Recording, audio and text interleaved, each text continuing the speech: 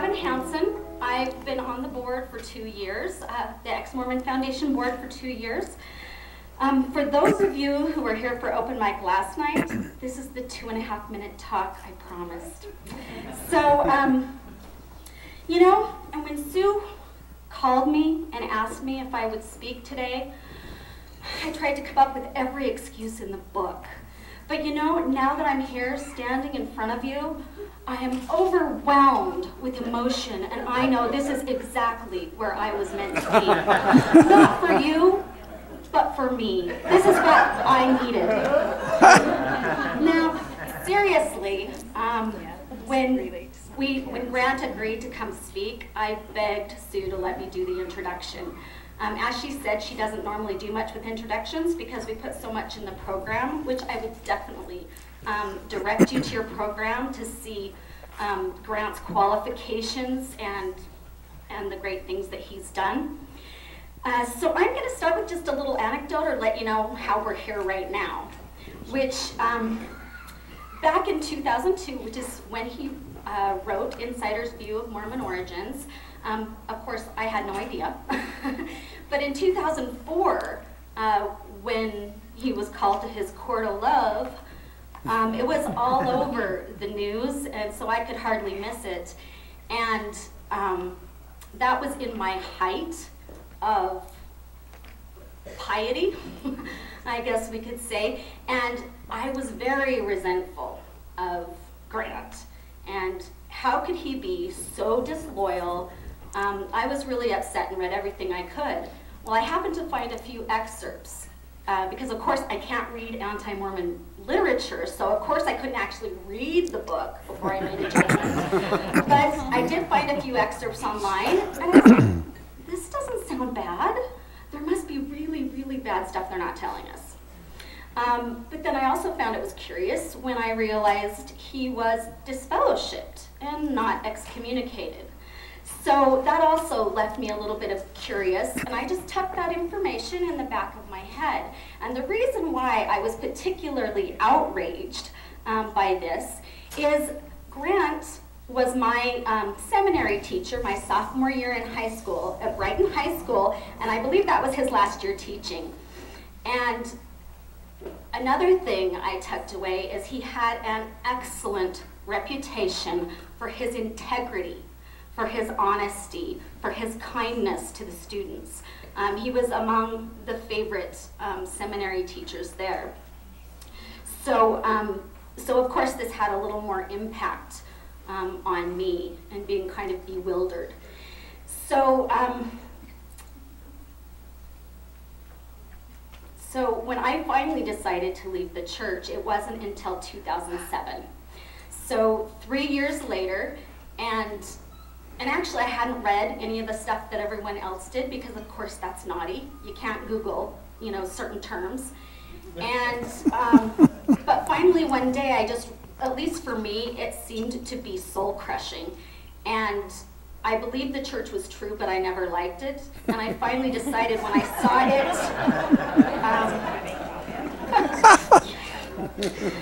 I mean, you've heard there has to be two things present, right, to leave. You've got to not believe it, and you've gotta hate it because one or the other and, and you can stay and be fine. But uh, so anyway, I finally hated it enough and um, and I could see what it was doing to my children. I guess that's what kicked me over the edge, was seeing what it was doing to my kids. And also, right about the same time, this thought came into my head, which is, what if they're all just men? And that was like my aha moment. like, of course they're all just men. which freed me to read whatever I wanted to. And of course, Grant's was the first book I read because I had to know what was so bad. And I'm so grateful to Grant because that is what confirmed in for me in my heart that I had absolutely made the right choice. Um, and so I've been kind of a little like feeling like a groupie, but way too shy to contact him for a long time. Um, so it's been five years I've been out. So finally, um, a year ago, year and a half, two maybe, um, I finally got up the courage to contact Grant and we went out to lunch. And he is lovely as ever. you know, I really enjoyed the lunch. And of course, I trying to, you know, ease into, will you come speak at the conference? we have been wooing Grant for years. and uh, when he turned me down last year, I said, well, is it okay for me to keep asking? You know, do you mind if I ask again? And he goes, no, you go ahead and ask again. You may not get a different answer. and so finally this year, he said yes. And just one of the highlights of my year. Um, so that's that's the story there. And I don't think I have anything to say more than that besides get ready for a really good, uh, really good information from a very good man.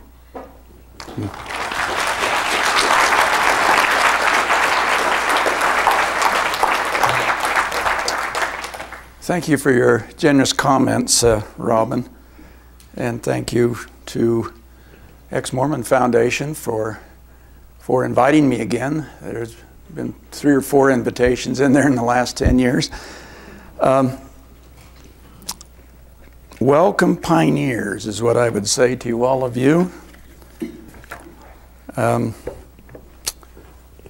a pioneer, one definition of a pioneer, at least to me, is uh, someone who tells the rest of the story. And we have a lot of people in this audience who attended this conference that are telling the rest of the story. We have Signature Books here, who's been doing this for nearly 30 years. Major contribution. We have Ex Mormon Foundation here. They're telling the rest of the story. Uh, Post Mormon.org, I, I understood they were here. I don't know about Mormon discussions. I know Mormon Think has been here. And each of you are trying to become a little more articulate in what you what you might have to say to your family or friends or acquaintances. Uh, I, I think it's important that we that that that this occurs because we're really trying to to get uh, people to take a look at the rest of the story. And as Paul Harvey used to say, and as you know, that's not so easy to do. I said to one of my children, uh, and, I, and I mean this, uh, she, uh, she's been, she called, called to be a Relief Society president out here in a suburban neighborhood at 36 and is a very lovely person. And I said to her, says, you know, I'm, I'm really interested in your happiness uh, foremost. Uh, but you really don't know much about Joseph Smith. And if I had my wish, I would wish that you would take a serious look or a deep dive into Mormon history and find out. And then if you, whatever you do, I'll, I'll be supportive and maybe you'll understand me a little better and we'll have a little better relationship. Well, so far that hasn't worked, but let me just say a few things, uh, make a few observations before we get into the aha moments of my research. Um, earlier this week, I had a phone call from a returned mission president. And uh, he said he'd read my book and he knew the church was not true. And that's an ongoing story, and I won't get into that because he doesn't want to be compromised. And I said to him, I says, well, who, who told you about my book? And he says, a general authority. First Quorum of 70. And he wants to get in on the act too, but that's all I'll say about that. It's an ongoing story. But I thought, that's very interesting. And, and he doesn't, he knows the church isn't true either. But so many of them never speak out, or at least they haven't. Um, now, Tom Phillips, a lot of you on the internet know about him. He's a stake president who I think did a very good thing. He, he received his second anointing and uh, probably at the hands of Jeffrey Holland, Elder Holland. But um, he asked him, he says, I'd like you to answer these 15 questions. And if you can't, I'd like you to write a letter to my family telling them I'm okay, that there's reasons why I'm no longer active in the church. And I don't want you passing me off to someone else. You're the prophet, seer, and revelator, Elder Holland. Please answer these questions. And as some of you know, he got a reply back that just said, Well, you made me heart sick, sick to my stomach. No letter and no answers. But he spoke out. And we're talking about recent developments. And I think from what this state, this mission president said to me earlier this week, I think it's beginning to penetrate the upper echelons of the church.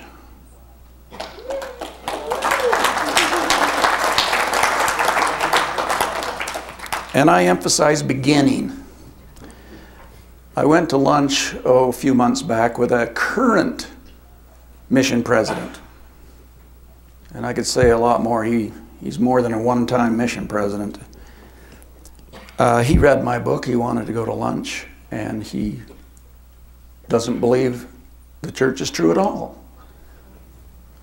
In fact, he claims to be an atheist and has been for the several missions that he has been on and is now. And I says, How do you do that? I says, It's not like they're asking you to be a nursery leader. he says, Well, I just couldn't turn Elder Holland down. And my wife is so such a true believer in her family that I fear her more than telling the truth. Uh, you've heard about the Swedish rescue. And the third quorum of 70 member Mattsson is inactive in the church. He's looked into it. Also, the top LDS woman in Sweden, I think her name is Christina Foot. They have left, and it's they've taken a number with them. So there's another 70. Gerald Nephi McChesney, you may have heard of him four, five, six years ago. Stake president a couple of times, bishop a couple of times. Uh, he's uh, head of the board of regents at uh, Oklahoma State University. He's the first temple president. I think he was in an area presidency. He looked into things. He and his wife have left. He did not like the answers that Elder Didier from the First Quorum of 70 gave him to his questions. They're gone. Um, I know 10 seminary and institute teachers who think just like I do. Um, and so you begin to see the beginnings of penetrating the upper echelons of the church. And I emphasize beginnings. I think you also see it impacting on the teenagers of the church. And I think from the perspective of the church, it was a very smart thing to do what they did. Uh, conference weekend, I understand there's a lot of giddy senior girls in high school who are putting their papers in in droves. And they will get a lot more, a lot more missionaries. I don't know uh, how that will uh, the message is flawed, as, as we know, and I don't know how that's going to work out. Uh, they seem to convert a lot, but they don't retain a whole lot. But I think you're beginning to see uh, um, some of that going on, and I think uh, uh, a well placed source has told me that the church had determined that on the Wasatch Front, that is from Spanish Fork to Logan, they're getting about one of two 19 year olds to go on a mission that are eligible to go on a mission.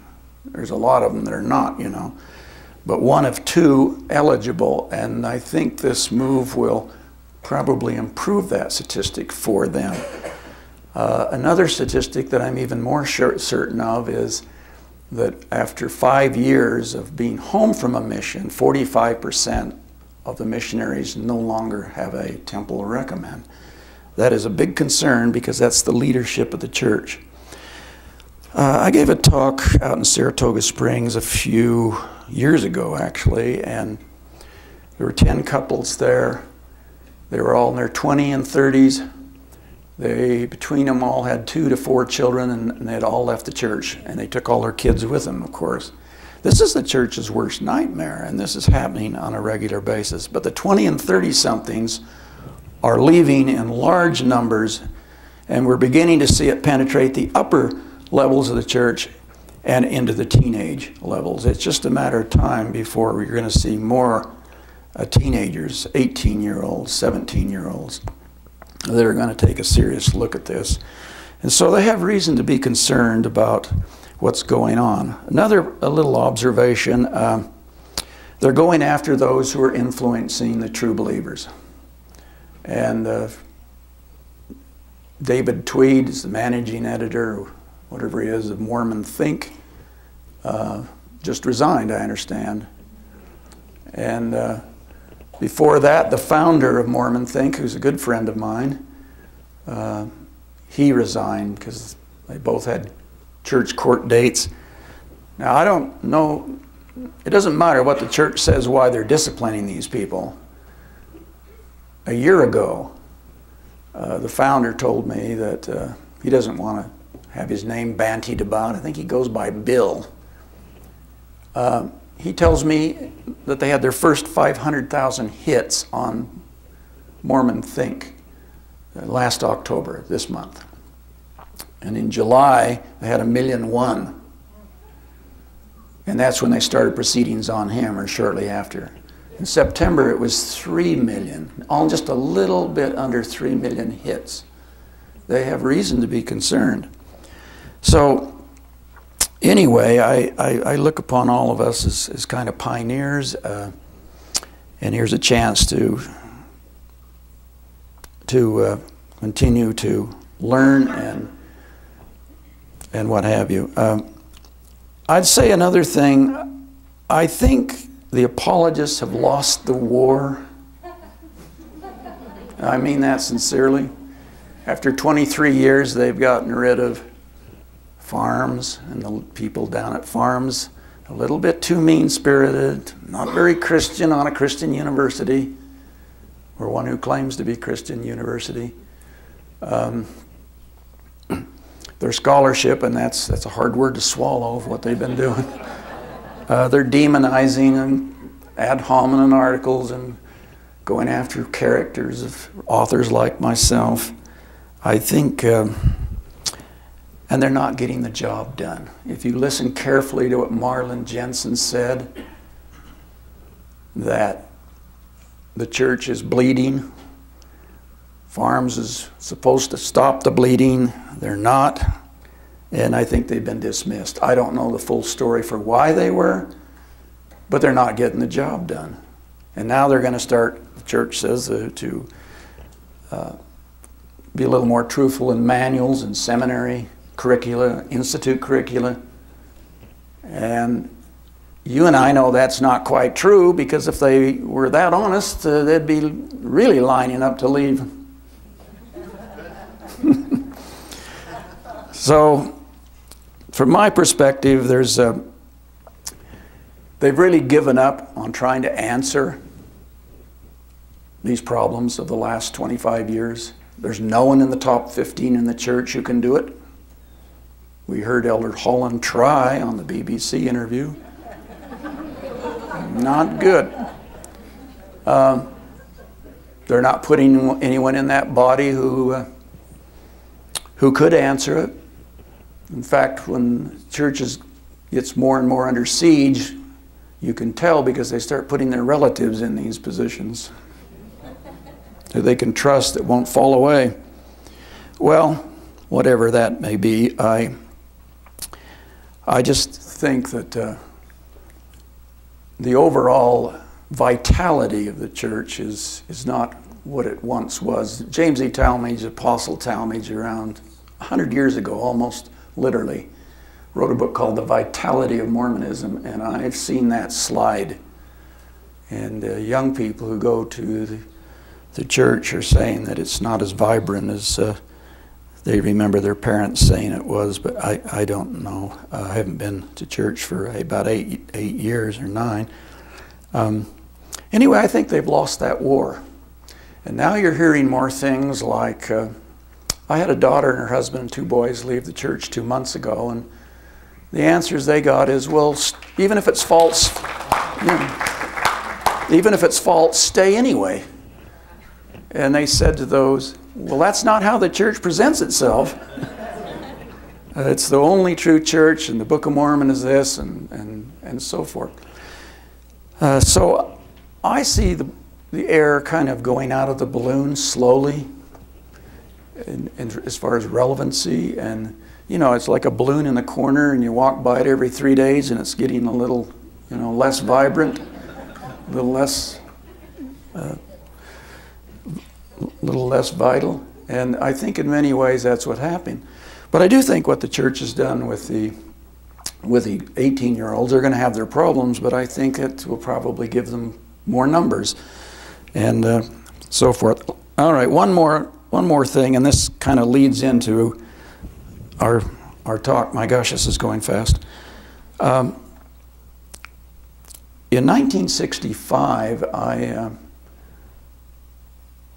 my professor James Clayton at the University of Utah in history, he says, Why don't you join us? We're having a seminar on Mormon stuff. And Leonard Arrington, uh, who used to be our church historian, is organizing it. And it was like six weeks, a guest speaker. Well, the last speaker was Earl Olson. He was at the time assistant church historian. Leonard Arrington was not yet our historian, church historian. And right at the end, he says, Earl, how about going down to the archives and maybe you could open the first presidency's vault and we could see some artifacts? He says, okay. So 13 of us went down, and I think most of them are dead. I was about the youngest guy in that session. And I didn't know the significance of it at the time, but he brought out some handwriting of Joseph Smith, some of his hair, and three seer stones that belonged to Joseph Smith. One of them was a little white stone, about like, like that, and it was shaped like a baby's foot. And for years I, I thought, what does that mean? Well, you know when you stamp a baby's foot on a, on a blessing book or a baby book, it's kind of narrow at one end, and then as it gets up to the toes, it gets uh, wider. And that's what it looked like. A, a white stone, small, about the size of a baby foot and shaped like a baby's foot. And then there was another stone that looked like milk chocolate. It was the size of a softball, about like that. And someone, it's like someone had molded mud in a, dried mud in a ditch or nearly dried, and had put it together, and you could still see the finger marks to mold that stone that had become extremely hard. In fact, I tried to, you know, test the end of one of the, and it, and it was, I couldn't even break it. Not that I was trying, but it, it was just solid rock. And it had a handle on it so you could carry it. They molded the, the stone and then they had a little cup like saucer handle on it so you could carry the thing around. That was another seer stone of Joseph Smith's. And then, of course, the third one was the one he used for the complete translation of the Book of Mormon, the one we have today. Very significant, excuse me, very significant stone. Almost black with white streaks in it, about the, bigger than a chicken's egg, smaller than a turkey egg, about like that. He found it in a well in the Clark Chase's property, which is very close to the Smith family. And of course, being curious, I got right up to it and I couldn't see a thing in it.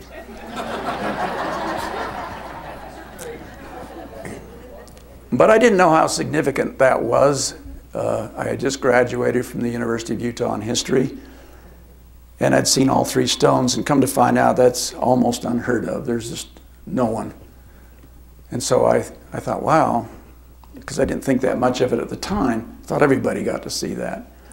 So when I did my book, Insider's View, I tried to get a picture of it. There are no pictures of that stone. Joseph Smith does not mention that he used that stone in the official history of the church. I suggested they may want to take a picture in case the stone disappeared. At least they'd have a picture. That argument went nowhere. But it, that stone helps you understand early Mormonism. And if you don't understand their mindset, you really don't understand early Mormonism. Um, when I was institute director, I used to collect personages that Joseph Smith had seen. And a lot of things were seen in the Kirtland Temple. One day I asked Edgar Lyon, who was a Nauvoo historian for the church, institute teacher for many years, how do they see so much stuff and we don't see it today? And he gave me an answer. I'm not sure it's correct, but it's funny. He says, he says, well, if you fast for two days and then drink a lot of beer,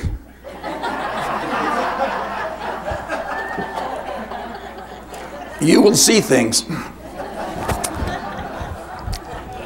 Like I say, it's funny, but I don't think it's correct. It, it might have contributed. But I had a list of like 47 personages that Joseph Smith had seen, and a good number of them at the Kirtland Temple. One day they're out working on the temple and standing by a grape fence, according to Zebedee Coltrin, 70 at the time. And he says, Well, uh, and, they, and, and Joseph says, There's Adam and Eve. Described her as having dark hair, black eyes. And I thought, why don't members today see stuff? And you hear various speculations. Well, this was the era of the restoration, so they needed all of this stuff. Or we're not as righteous as they were. But I think it's I think it's different than that, and it goes back to the mindset of Joseph Smith and his family. You realize the first 50 to 70 converts of Mormonism were,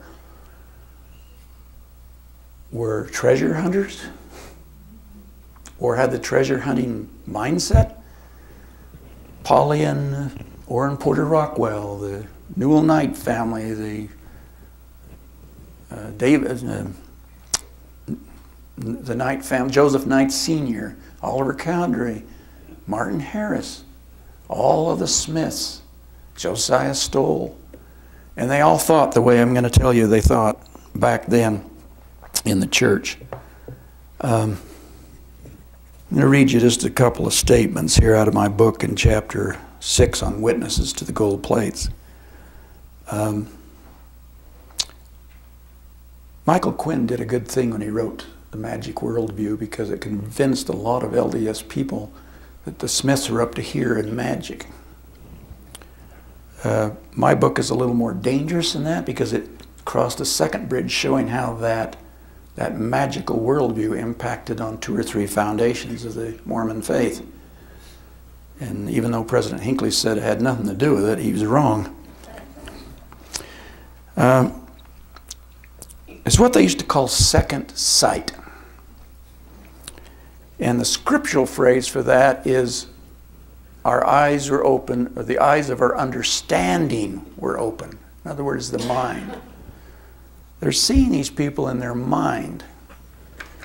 And this is a real aha moment for me to realize that this is what they're doing. They're not seeing all these personages that I had listed as an institute director. If you read section 110, the Doctrine and Covenants, read verse 1. The eyes of our understanding were opened.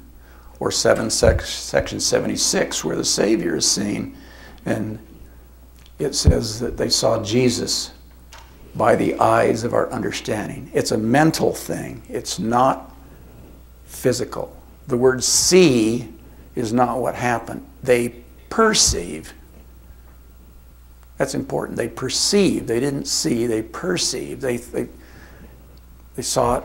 They felt that he was there, or they, they felt that uh, uh, their imagination, or their mind suggested this to them.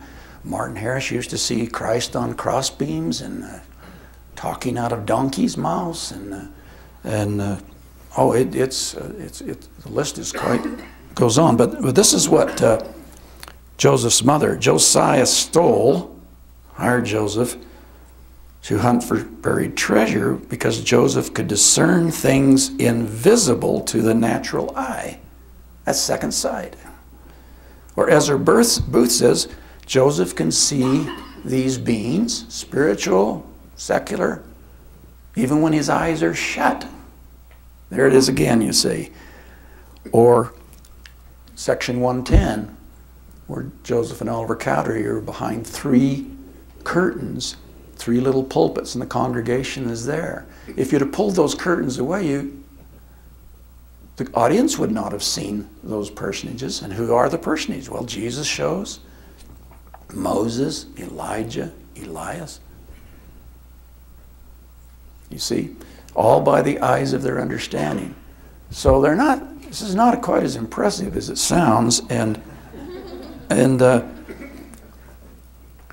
they saw a lot of stuff because Joseph had taught them, these New York Mormons, when they got to Ohio, taught them how to think this way. Joseph was the leader, as Brigham Young said.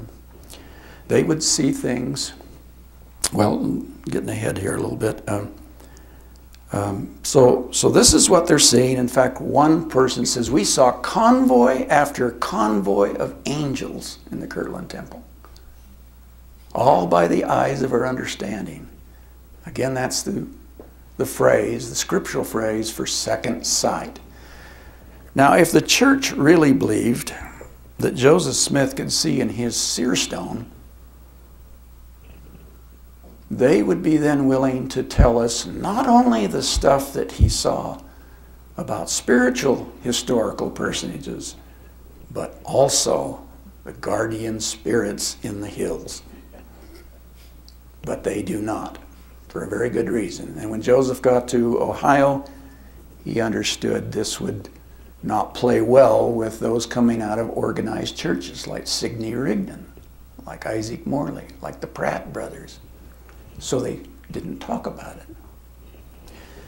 But this is what's going on, and if they really believed, like I say, that he could see spiritual personages, and he's using the same stone to see the treasure guardians that he is to translate the Book of Mormon to see these spiritual personages.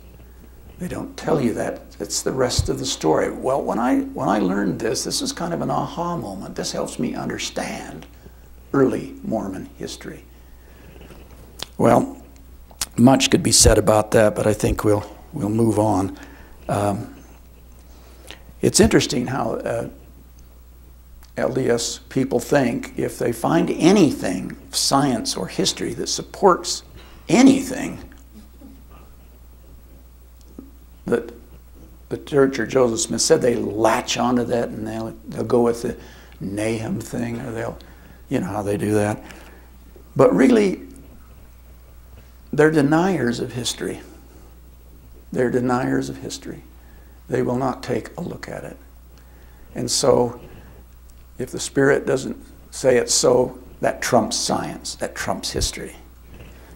And that's an important choice people have because if the Spirit trumps everything else, then that's where you're going to end up. And that's what I told my daughter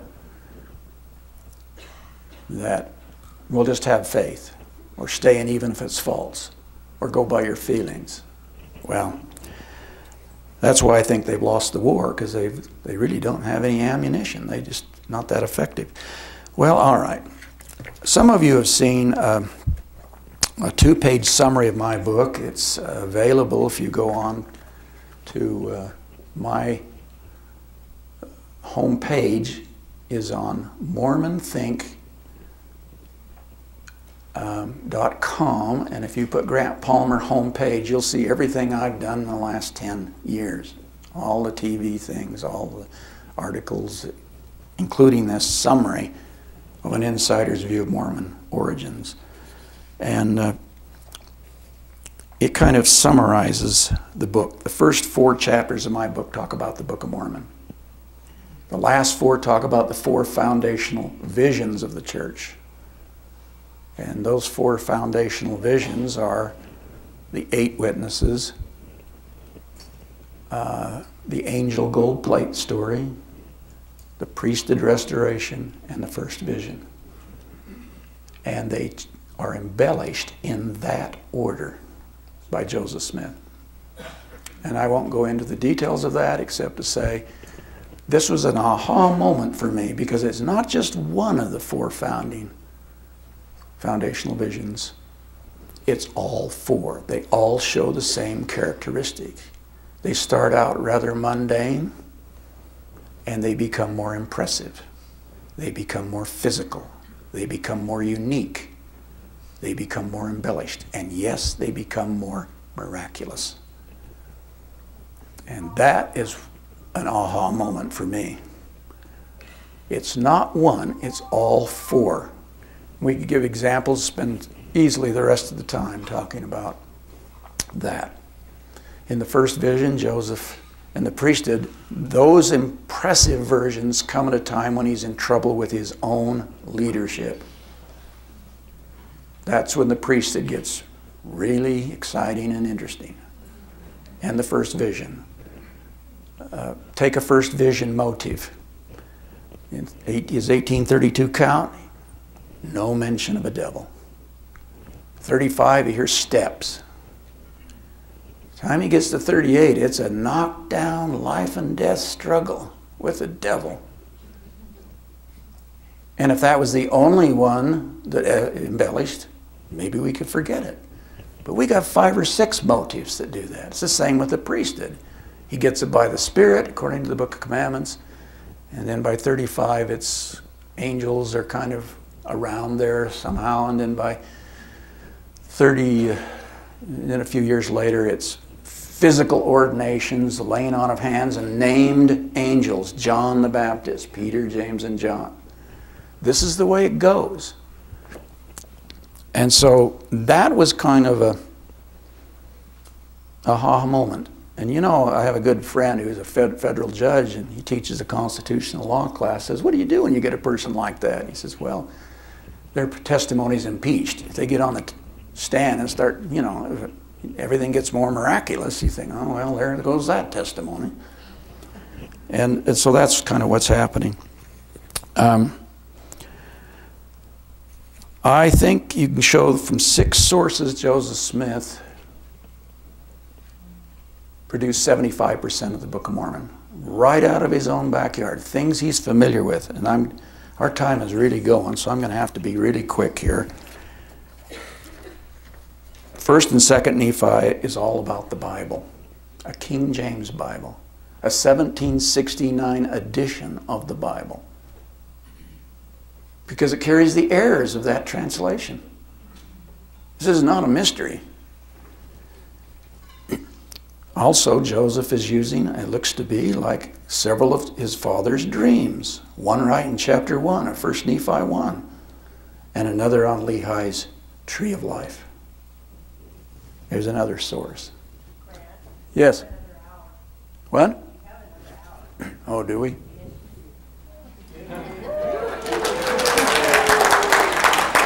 All right then. Second Nephi, half of those chapters are right out of the King James Bible, including the errors of a 1769 edition of the King James Bible. Wow! Did these come off brass plates of Laban? Or plates they dug out of a ground? I don't think so. These are very practical things, folks. That's 1st and 2nd Nephi. Jacob, Enos, Mosiah, Alma 1 through 42. That's all about Methodist stuff. When I was working on a PhD in American history at BYU, I took a deep dive into one of my four areas was the history of religion in America. And I focused on the second great awakening, which is Joseph Smith's era. And I was astonished at the preachers. They are dead ringers for the 11 preachers in Jacob, Enos, Mosiah, and Alma up to chapter 42. Those 11 preachers sound just like what he would have heard in his own environment when he went to revivals and especially Methodist, which he was somewhat partial to. And you will see the four step conversion pattern of his era. You will see the same phraseology of the Bible, the King James Bible. You will see frontier rhetoric. You will see the same pattern from A to Z. And you can check this. This is not a theory. Let me give you one example of those 12 King Benjamin. King Benjamin, I found, were one mile from Palmyra on June 6, 1826, a very formative time in Joseph Smith's life. This is in my chapter 4, all of this stuff about the 11 preachers one mile from his home. He said he went as often as he could get there. I think he was at this one, and I'll tell you why. It's in my book, but I'll tell you anyway. He, what the Methodists like to do is to consecrate the ground of a revival area. One mile from Palmyra, June 6, 1826. 15 months before Joseph gets the golden plates. The famous Methodist prelate named Bishop McKendree is going to give his last discourse. And he is weak, and he is feeble, and he is beloved, and he is going to give a talk on personal salvation. And everybody on the ground makes a commitment to Christ except little children. That sound familiar? If it doesn't, I'll keep going. 10,000 people were there. They, the whole Ontario district was coming to honor this sainted man. And they built a little pulpit. And one of the ministers would sit up there by the name of Benjamin G. Paddock is on that stand. And they put the tents around that stand. And he gives this discourse. And people are falling down. They are moved emotionally, just like King Benjamin's speech. We call that the falling exercise in the Great Awakening, Second Great Awakening. And you come away from that and I found every source I could who touched on that revival of June 6, 1826. And I've got them all documented in there in the book in chapter 4. That's one example of the 11 preachers. Now, they're not all that detailed, but they're following the conversion pattern, the phraseology, everything is the same. And you come away and say, do I really think that falling exercise happened in ancient America among all that shrubbery? in ancient America? No. This has come down from the Reformation. And this is what you've got. It is very, very hard to explain that away. And then Benjamin, when he sees a person who's in the falling exercise or emotionally affected, they call that being under conviction. And they bring him up to the altar. That's the little bench in front of the stand. They call it the altar of God. And those are the phrases that are used by Benjamin in the Book of Mormon. And after the thing is over and they've all made a covenant to Christ, having heard this sainted man, this feeble last discourse, they appoint the stations of the preachers and that phrase is in there too. That is a Methodist term. And yet the people at BYU says he went word for word and translated out of that stone. Well, all right. So that's first and second Nephi. That's Jacob, Enos, Mosiah, Alma 1 through 42. Alma 43 through 63 is the war chapters. And I believe Tom Donifro has written something on that. And it, I think these chapters reflect the war strategy of the, strategies of the American Indian Wars and especially the War of 1812 and British Indian fighting strategies against Colonel Jackson. Helaman, 1 through 7, is about Gadiantonism. And it's, this is 1828, 9 and Andrew Jackson's running for president, and he's a Mason, and boy, are they vilifying him. They're speculating what General Jackson will do if he's president to the executive branch of government and the judicial. You see the same phrases in those chapters. You see the same plans and designs and speculations. The Smiths had a news, read a newspaper. They took a newspaper. They can read. All right, 3rd Nephi 11 through 28. That's the ministry of Jesus in the New World, according to the Book of Mormon. In those chapters, there are 490 verses. 50% come right out of a King James Bible of 1769. 50%. You can recognize the phrases or whole passages or whole chapters. Ether. This gets a little more speculative, but I think it's what I believe. This book is Joseph Smith's essay on the central message of the Book of Mormon. The first seven chapters of Ether tells what happens when you follow Christ, the last eight when you do not. It's a miniature Book of Mormon or a Nephite civilization experience. Uh, that is the thesis of the Book of Mormon, and like the Nephite civilization, the Jaredites um, had extreme annihilation even down to the last man. Well, so you get an organization like FARMS that says, well, there's 25% of the Book of Mormon. We don't know where it came from. Therefore, it's probably still ancient. That's the wrong end of the elephant. because those six sources that I just cited in here, within this, and you can get it online, 75% of the Book of Mormon comes right out of Joseph Smith's environment. The King James Bible, the Methodist revivals, Smith family biographical materials, the war strategies, and anti Masonry. And they say, well, they're going to focus on that 25% that we do not yet know where it came from.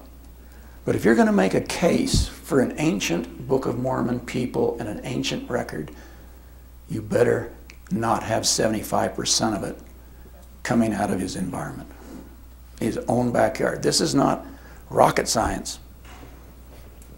This is easy. All right. Let's just go over a couple of more and then we'll. Um, we could do the same thing to the book of Abraham. Four sources, really quick. Chapter 1 comes right out of Josephus. Joseph Smith family owned a copy of Josephus, an 1830 edition, or copy. Chapters 2, 4, and 5, 88% of those verses come right out of the King James Bible, including those errors. Chapter 3, Thomas Dick's Philosophy of a Future State. That's where he's getting his astronomy. Joseph Smith owns a copy of Thomas Dick's philosophy of a future state. Thomas Taylor, his 1816 book on the six books of Proclus on the theology of Plato, tells you all about that facsimile too. There are five or six phrases in there that are right in that facsimile.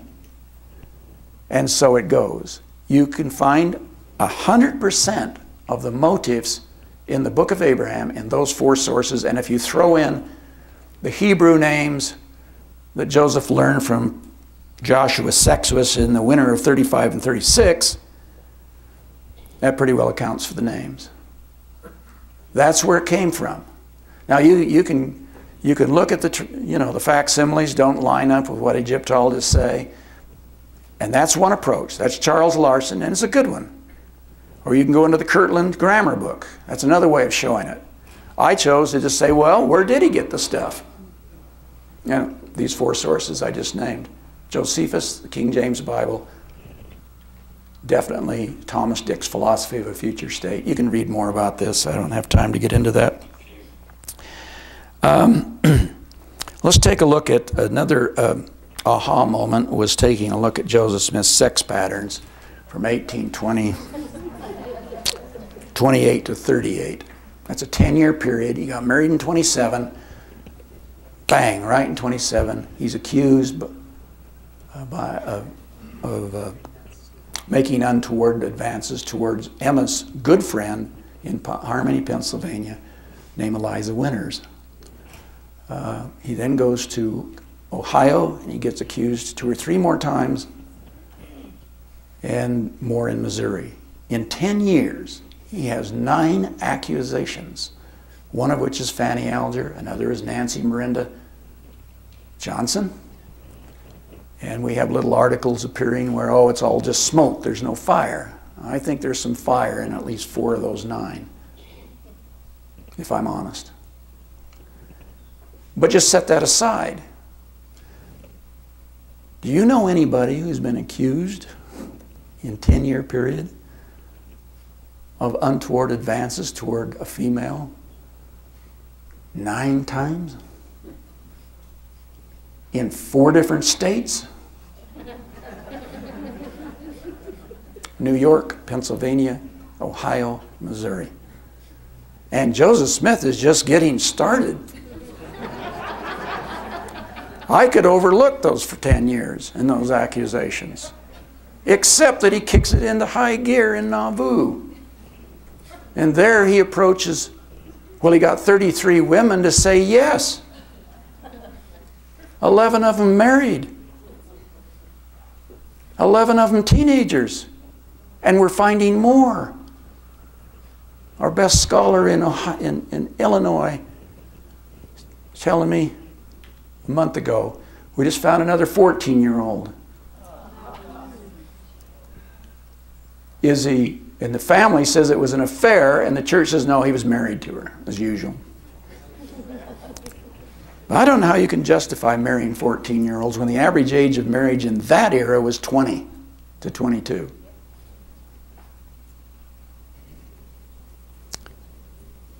So it let him go on the 10 years from 27 to or 20, 38, 28 to 38. What about from 39 to 44?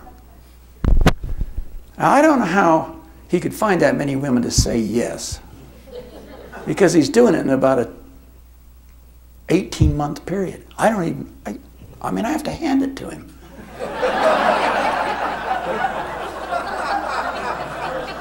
How do you do that? What's that? There was no Viagra then either. I, I'm beginning to wonder if the reason we haven't found too many pregnant women by Joseph is because he was on to the next one right away. I don't know. But this whole sex pattern thing, it just starts from the time he's married and goes right up until he dies. And this last example of a 14 year old was in the spring of 44, and that's the latest one we know of. Some say there were 35 to 38 marriages. I know one, 44. We're still finding them, folks. What's the name of the 14 year old? Who is it? I can't remember. He'll come out. He's going to write some books. He's, he's writing a book on Joseph Jackson, who's he's writing one on Carthage. He's writing one on Nauvoo polygamy. And he's good. No. No. No, not a church. I could tell you more, but I won't. You might compromise him. So, let's close with, well, one other thing.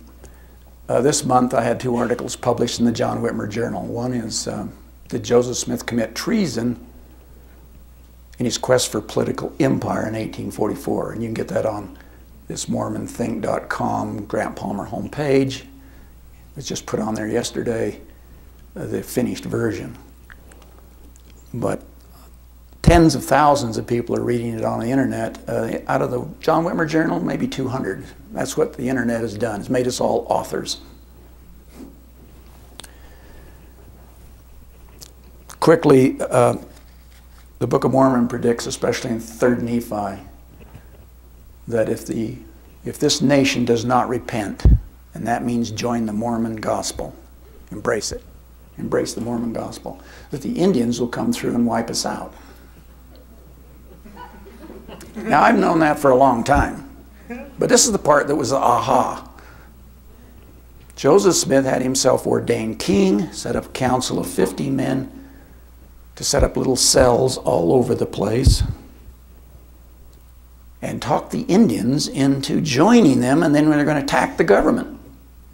And you think, that can't be true. I had a federal judge read the paper, and I says, What do you think? He says, They'd have got him for treason or something along those lines if he'd have lived a few more years. Anyway, it's in this paper. That was an aha moment for me because I never knew that Joseph was going to organize the Indians. His, his plan appears to be to, to convert the Indians to the church and then tell them, as the Book of Mormon does, hey, this is your land. You should get off if you're not a Native American. That was his appeal to them. But if they wouldn't join the church, he would just uh, make alliances with them. And there's quite a bit of testimony, and I give three examples of where Smith is trying to have these members of the Council of 50 go out, which he calls princes of the kingdom, and they're going to do what they can to elect him president, and as soon as he's president, then we got a foot in the White House for a theocracy. That's the thinking. Well, I'll pass on that for now, but let me go to, and we'll close with William and Jane Law, because this was a huge aha moment for me, and not that long ago either. I keep finding stuff, even though I'm in the twilight of my career. A lot of people know that William and Jane Law published the one and only issue of the Nauvoo, Nauvoo Expositor. It's about the size of the Salt Lake Tribune and four pages. You ought to read it sometime. There's nothing in there that's false that I've found. Not one thing. In fact, William Law joined the church in 36 up in uh, Toronto, Canada, and married his wife, Jane. Came to Nauvoo in 39, and he was put in the first presidency in January of 41. And he stayed there until January of 44. He was Joseph Smith's second counselor. And he was a good man. In fact, we're finding out the good guys are the bad guys, and the bad guys are the good guys. This is an honest man. I really identify with him. We're going back, Tom Kimball, myself, to the, not, the current Nauvoo City Council in February, and we're going to talk about William and Jane Law. He became a, fish, a physician the last 40 years of his life in Apple Valley, Illinois, and Shullsburg, Wisconsin. He was a good man. Did he leave for the reasons we're leaving? No. You read the Nauvoo Expositor, we believe in the Book of Mormon. We believe in the Doctrine and Covenants. They went for far more serious reasons or basic reasons of human behavior. And they really liked Joseph Smith at first. He's in the first presidency. And really, he's all alone because Sidney Rigdon is sickly. And so Joseph puts in John C. Bennett for a couple of years as an assistant to the first presidency. But then he does his thing and he leaves. So it's really Joseph and William Law. And William Law is getting more and more disturbed by things. This is what William Law wrote the day in his diary that Joseph Smith was, was killed. June 27, 1844. He, meaning Joseph Smith, was unscrupulous.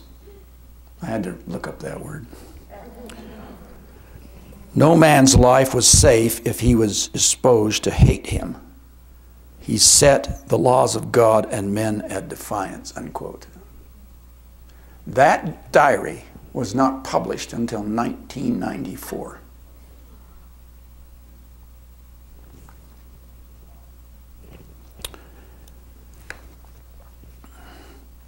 Well, why did they leave? Joseph told John C. Bennett while he was still in favor. These are members of the First Presidency. I haven't seen Orrin Porter Rockwell around for a while. Oh, I sent him to fulfill prophecy. That meant kill ex Governor Boggs.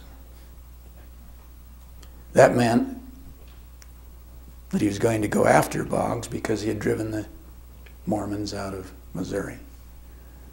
William Law said the same thing. William Law wanted nothing to do with Mormon, and he would not give an interview until the last five years of his life. And his kids who were really solid citizens. He had a doctor and a judge. The judge says, Dad, you really need to say a few things. And the very first thing out of his mouth, he, he conducted one oral interview. That's it, folks. Three letters and one oral interview. In the oral interview, before it got even started, it says, he talked about this hit on Boggs. He says, Joseph Smith told me that he sent, he sent Rockwell to, to murder, to kill Governor Boggs. And these are the words he used. And you don't forget st- stuff like that. I don't care how many years have gone by. And he wounds Boggs. But he, he's put in jail, but he's never convicted, or in Rockwell. They tried to extradite Joseph Smith. The governor of Illinois, Thomas Carlin, says, You've been making predictions about me too, Joseph, and now I'm starting to believe him now that Boggs is gone because there's all kinds of witnesses that heard you say in that little grove in Nauvoo that Boggs would die within a year of violent death. And now it's you somebody's attacked him. I think it's you. And if you come after me, I'm on I'm watching you. You see. Now I think just really quick Joseph can justify, well, Orrin Rockwell fails, so he hires Joseph Jackson to finish the deed. He offers him three grand. And Joseph Jackson lays it out what happened. And he talks about he reports back to Joseph. Well, this is a little heavy, I know, and, and I, and I don't know if anybody will believe it, but I think there's the last 18 months of Joseph Smith's life he was doing things that just took William and Jane Law aback. The second reason they left is that, and this is in 43, June of 43, Joseph already has 21 wives. And Emma says, Hey, if you can do it, I can do it.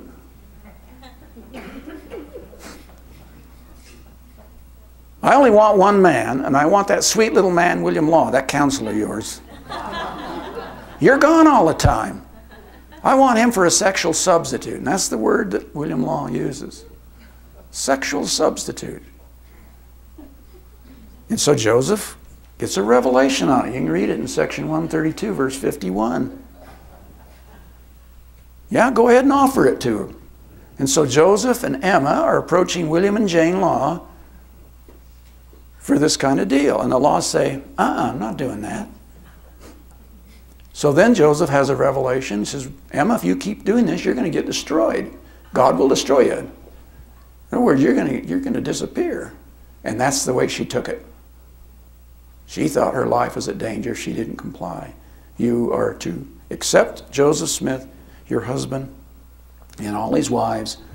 The original deal was you can have law if you will let seven of these younger wives live in the mansion house and quit harassing them, and so forth and so on.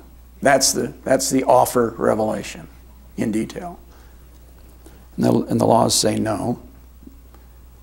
And that's another reason I left. The third reason, Joseph's very persistent. He's also narcissistic and extremely grandiose, more than I had ever thought. The third reason is he has himself ordained king of the earth and that he's a God to this generation and presides in the spirit world. And the laws go ballistic over this in the Nauvoo Expositor. So those are three reasons, really quick, of why they're leaving. They published this one issue of the Expositor on June 7th, and by June 12th, they'd left town and they walked away from their business their farms, and their cities. He and his brother Wilson Law, who wasn't a member, lost about $30,000. And so, what is the law's final testimony of Joseph Smith? It says, We know for a fact that he broke seven of the Ten Commandments. And they list them taking the name, using the name of God in vain, murdering people. Jesse ja- Joseph Jackson said that Joseph tried to hire him to kill Law. William Law says jo- Joseph and Hyrum tried to poison him. Joseph was going after his own wife if she kept in this.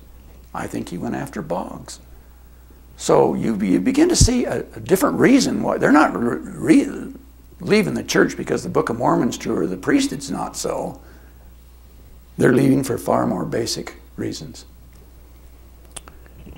And it's just as well they'd lost their money anyway because the LDS were driven out of Nauvoo shortly, not too long after that anyway. But he, he claims he and his brother lost $30,000 so they've walked away from everything. That's the sacrifice they paid. And at the time, that was a very real concern. It's just as well they did. About the time that the laws left town, William Wines Phelps, Phelps, W. W. Phelps, wrote a poem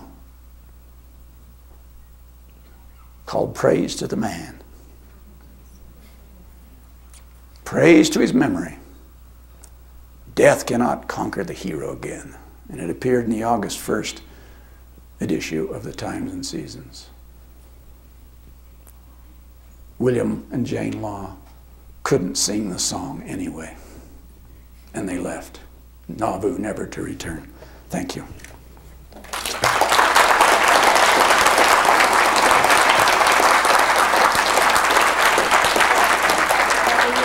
Sure. Uh, one of the things that I found curious were your conclusions at the end. It seemed to me that you were saying that you know, the church has all these foundational problems, there's holes all over in the foundation, but it's still worthwhile, it's still good.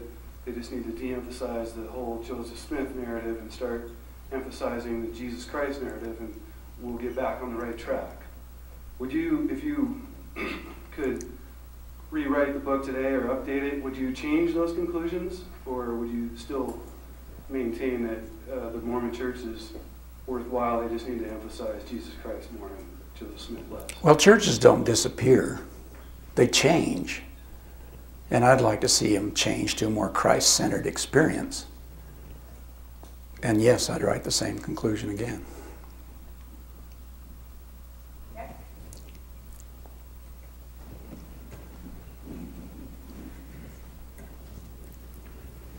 Can accept the fact, as many of us do, that it's not a church per se, it's a church cult? Structured as a church, functions as a cult, and as a result, from the, our perspective, has no redeeming features. Well, I don't know about all of that, but uh, I like to say it has a number of cult like behaviors. That goes over well with a TBM better than you say it's a cult. But that's me. Um, I think it does have a number of cult like behaviors. Um, as for the rest of that, uh, they do some things right, but they look, they won't do what they're asking their members to do all the time. And the word is repent. And it's disturbing to us that they keep perpetuating it. And they are perpetuating it. But I think the air is slowly going out of the balloon because of their vitality. You, you cannot do this. There's starting to be little tiny visible fissures in the dam. It's going up and it's going down and it's going all around. And those who value truth more than loyalty to a tradition are going to find the truth. It's out there now, thanks to you folks.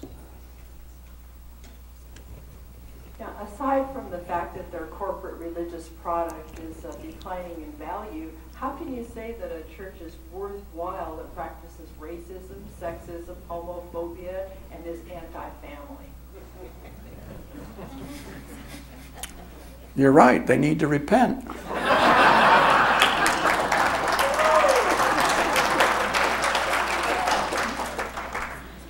In many ways, it's acting like a corporation, isn't it? And this is what this gentleman is saying back here. There's no question about it. This is not the church of my youth. They used to tolerate oddballs in the wards. And I knew a lot of them. They were just off the wall. But they, oh, that's just Brother Henry or something. Now they hold a court on you. In keeping with the same discussion, I see the good works, the, the valuable contributions um, to which you refer and to which you question as part of the facade in which to keep the corporate um, uh, like gang or Mhm. or mafia connection and hold from the top of the pyramid down to the people on the bottom who are very sweet and sincere and kind and loving. They are, and they, they don't know about most of the stuff we've talked about. No. Chapel Mormons don't know hardly a thing. But, but then, therefore, I'm saying the good deeds that we can all point to are part of the facade, which keeps the, It's an inoculation, isn't it, to keep you from looking? yeah. That's what FARMS is trying to do. Brent, where do you see the church in 30 years' time as far as doctrinal changes? Uh, do you think that the Book of Abraham might get dropped? Um, anything else that you foresee coming? Well, when we reach a tipping point, and where probably won't happen during my lifetime, when we reach a tipping point where there's so many people saying, hey, I'm not going to discipline this person because what they're saying is true. When the leaders start, you know, acknowledging that on the, the ward and stake level is where the church operates. If, they, if, if large numbers of those start to go, they, the church knows they've got serious problems. I think at the top, it's going to depend who is in charge when that happens. And then, you know, you had the Protestant Reformation, Luther, they protested. That's what they, we're doing. We're protesting. And they made enough inroads that eventually they had a Catholic counter Reformation where they tried to clean a lot of stuff up. It didn't work, but they tried. And the Mormon church thought all this was nailed down, but the internet has brought it all back. The English Bible was to the Catholic Church what the internet is to the Mormon church. What's going to happen? I think it will become more and more irrelevant. Younger people read the Book of Mormon and says, "Man, this is racist." you know, we, are most of us are older and we knew both sides of that. They're not I think things are going to get less racist in America. There's going to be a lot of intermarriages, first of all. What's going to happen? I think they'll do anything to perpetuate the church. But it will change, just like the Catholic Church changed. But it does go on. People who think it's all going to disappear, they're, they don't know history. Uh, this is kind of along a similar line, um, where you were talking about it will change. Uh, do you care to say anything or your opinions about if there are any church leaders we're aware of now that you think might be capable or are more likely than not to help those changes happen?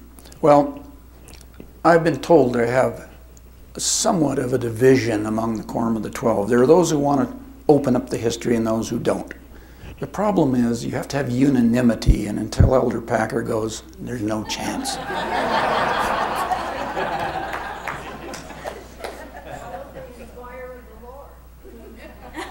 What's that? Why don't they inquire of the Lord? Why don't you write him a letter? Um, hi, Grant. Thanks. Thank you very much for your book. It helped me out a lot. And there's a section where you talk about a um, kind of a fairy tale story that that kind of aligns with Joseph Smith's experience with Moroni. I was curious if you could let us know how you made that connection, because that was an interesting portion of the book that was brand new to me. Then I have a second question. Um, I always try to hypothesize who amongst the 12 and the First Presidency kind of recognize that it's a fraud, know that it's a fraud. I'd, kind of like your speculation there, if you, if you can. Well, 10 years ago, I would say that the top leaders, I think they really believed it. They'd gone to seminary and institute and primary, and they believed it. And they know that our best historians are questioning it. They know that. And they know there's a lot of people resigning and it's starting to filter up. As to who that might be, you know, we're just speculating. But what I said at the outset today, it is reaching the higher levels of the church.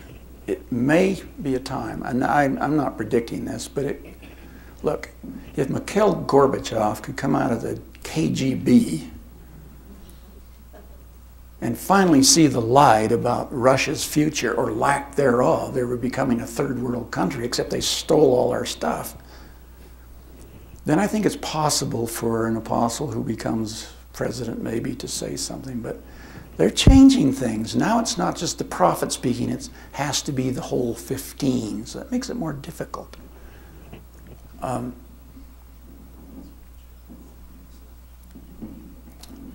I don't know if that's did I answer your question? Yeah. yeah what was the second one? The, how you made the connection with. Uh, oh, the golden pot? People either love that or they don't. Um, this came about from one of our senior historians at the Smith Institute was asked to do background for the Martin Harris W. Phelps salamander letter. And so he started looking all over for salamanders. And he got this novel, 70 page short story by E.T.A. Hoffmann, who you know for other things, The Nutcracker. Um, and he said to me one day, he says, I'd like you to read this and we'll have a discussion.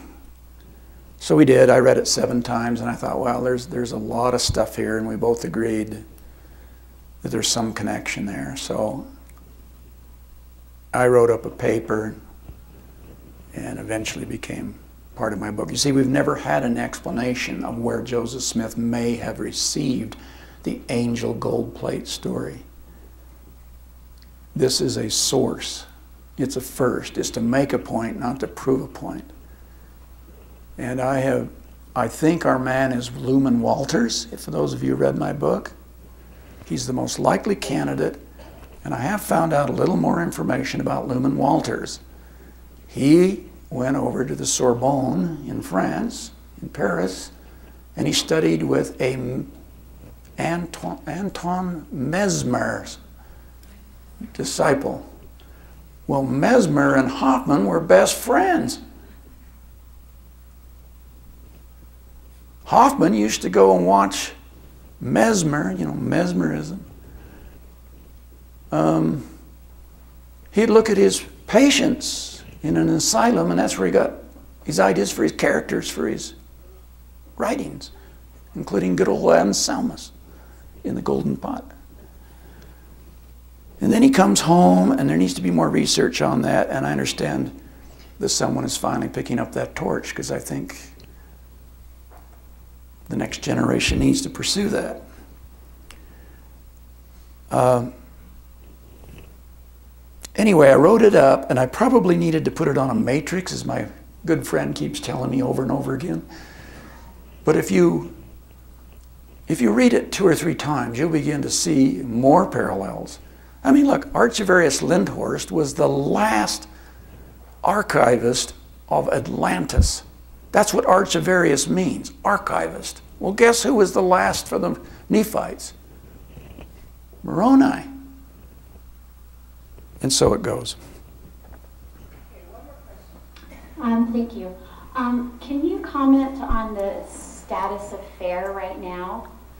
And um, the second part of my question is, is there any involvement from the church leadership with FAIR? I mean, I know not publicly, but maybe privately? It's a good question. I don't, I don't know anybody who knows the inside story yet. I don't. All I know is that they didn't like the mean spirited part of what they do on a, on a BYU campus that gave them certain perks and credibility. And my, my very strong guess is that they have failed to stop people from leaving in droves. And so Marlin Jensen, if you listen care, carefully, he says they're going to go our own way and have write things up. Because, in other words, FAIR hasn't done the deal, haven't made the case. And I think it's very hard to make their case because they don't have the ammunition to do it. The documents are quite overwhelming, and what we're talking about here today is true. And it's like a minefield. I mean, the only surprise is how big is the explosion going to be? Is it going to be a little one or a moderate or a whopper? That's how bad. And I, like you, felt duped. That's the word I used to use. Yeah, I went there looking for information to um, find out that what I was being told wasn't true. So that's why I asked. Yes, that's happened to quite a few people. Well, you've been a good audience, and, uh, and uh, thank you very much for your kind attention. And uh, good luck in as, as pioneers in our quest to be more articulate for people who want to know. You know, people who come into the church, it takes about seven, five to seven hits to come in. Well, it takes about five to seven to go out. So don't give up.